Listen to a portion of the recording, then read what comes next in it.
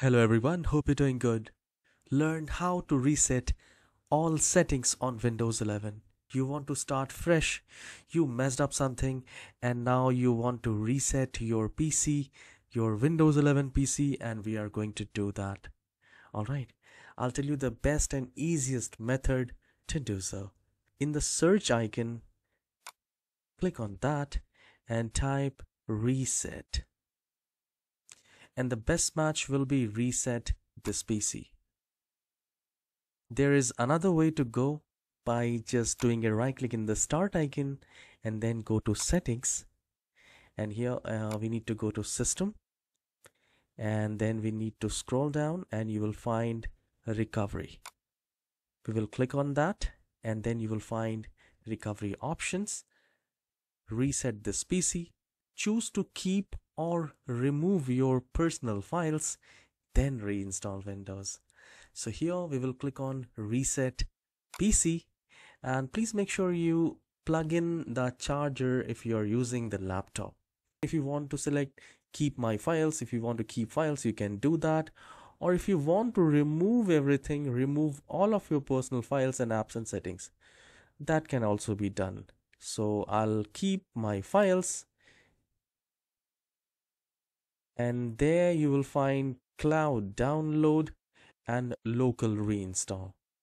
So my bet would be my recommendation would be if you do not know whether you have a factory setting on your computer or not i would recommend to go with local reinstall and then it will say current settings restore apps and setting that came with this pc and then we will click on next and this will start preparing and very soon we will have a new window.